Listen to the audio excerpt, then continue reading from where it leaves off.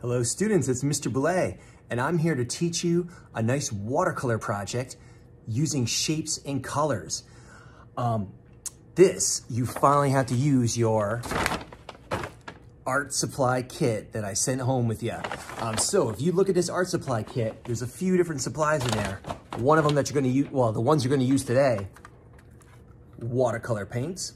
Um, they do come with a brush, but I put an extra brush in there, which I'm a big fan of. So you gotta look in that bag to find those watercolor paints and the brush. There's also papers in there. Um, you can just pull out a white piece of paper for this project. There we go. Um, now, to show you this project, you're gonna need a little bit more though. You're gonna need some water. It's a watercolor paints. Um, I used a little yogurt cup, put some water in it, um, but maybe you could talk to a grown up, you know, get a, you know, some kind of cup Hey, that's a good one. Uh, to put some water in, not a big deal, um, but you're gonna need water for this project. I also like to have like a little napkin, little paper towel or something on hand, just so I can wipe my brush off and clean it if I need it. Uh, so yeah, I'm gonna switch this uh, view so you can look at the paper and watch me paint. Uh, and then you're gonna be painting your own project. Now, I was just thinking shapes and colors. Um, that's awesome, but if you're just, I don't wanna paint shapes and colors, maybe you could paint something else. I'll be okay with that too. If you want to try to paint a puppy dog or something, hey, that's your prerogative. You can go for it. Um, but I'm going to show you painting some shapes and some colors for this one. Um, and I would call this one an abstract artwork. Doesn't look like anything. Abstract art doesn't have to. Abstract, abstract art can just be shapes, designs, colors. Um, it's representational art that looks like stuff. Like, oh, I painted a puppy dog. That's representational. I'm just going abstract with this one. All right, so um, let me switch views and you can watch, uh, watch the, the painting happen.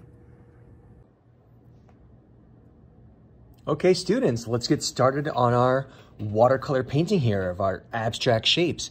So I got myself set up with my paper. I have all my paints here. It does come with a brush. I'm just not a huge fan of the brush that it comes with. I like using this brush better. This is a flathead brush, just nice quality. This is a rounded tip brush, which is also good, but I don't like that one. Uh, remember, with watercolor paints, you got to get water on them to make them work. I'm going to start out with the black. So I'm actually going to dip my brush in the water and start mixing it into the black paint there. I'm going to zoom in some, let's see. So you want to get that paint to suck up that water. There it goes. So you only got to swirl it around a, bu a bunch. Zoom back out here. Yeah, there we go. All right, so I got um, I got the paint on there. Let's paint some shapes. Um, I can do like a nice triangle. Oh, cool. Remember, triangles have three sides. And triangles can come in different shapes too. You can make them wider or smaller or skinnier or bigger. And you'll learn about the different names for those shapes as you go. Um, oh yeah, let's paint some more shapes. I want some of my shapes to overlap each other though. Let's see, I'm going to try for a, a big square. Let's see. Squares have four sides. And the trick of the square is that all four sides are equal, meaning they're the same. I'm not going to break out a ruler or nothing to measure these, but I think this basically looks like a square. Cool. Um, so I don't want to spend all day painting this. I want you to have time to paint your painting. So I'll add one more shape but you kids can just fill this up. Do all kinds of cool shapes on there. Um, I'm going to go with like an oval. Let's see.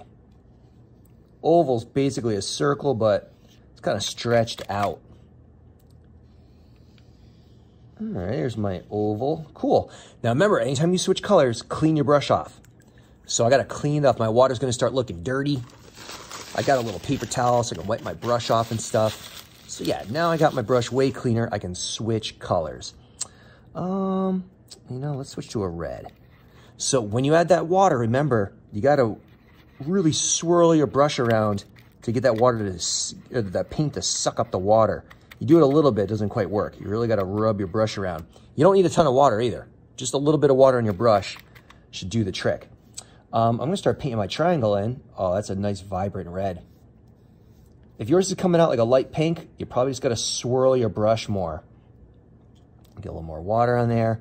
Now, I'm going to do a thing where, and you could try. You don't have to, but I think this is cool.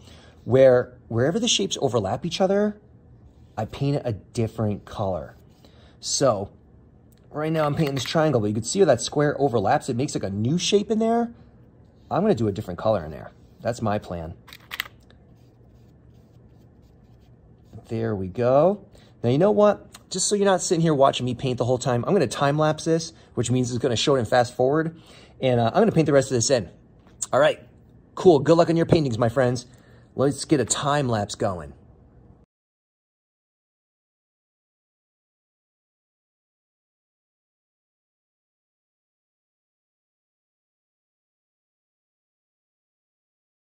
All right, students, so I'm done demonstrating. I wanna see your paintings.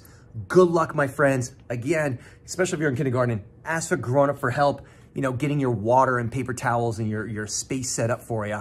Um, but let's see some great paintings, whether they're just abstract shape paintings like mine, or whether they're other paintings of your creation.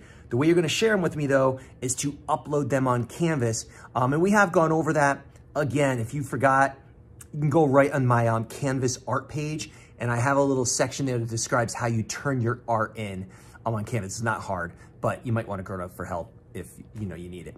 All right, cool. I look forward to seeing your art. Bye-bye.